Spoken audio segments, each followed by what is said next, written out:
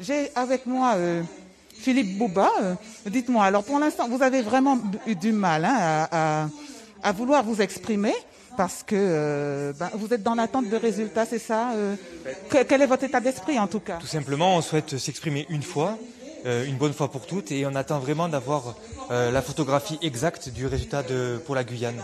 Donc nous sommes très attentifs actuellement, nous regardons par section, et pour l'instant, donc euh, plutôt positif dans certains territoires, mais on préfère vraiment que notre tête de liste, donc Gabriel Serville, puisse s'exprimer quand on pourra vraiment se dire les choses et parler correctement à la population.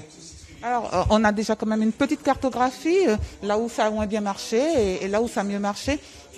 Sur le fleuve, ça n'a pas été très favorable, c'est ça. Alors c'est vrai de, de grosses différences entre euh, l'île de Cayenne, le littoral, et puis euh, le fleuve. De notre côté, il faut euh, assumer euh, l'ensemble du territoire, donc euh, en attente. Et pour nous, ça sera très important de pouvoir après avoir le, le bon discours pour pouvoir être pour l'après-premier tour dans de bonnes conditions. Donc un après-premier tour que, qui se profile déjà? Ben, je pense que la Guyane a besoin d'un second tour pour vraiment avoir une situation euh, apaisée, sereine.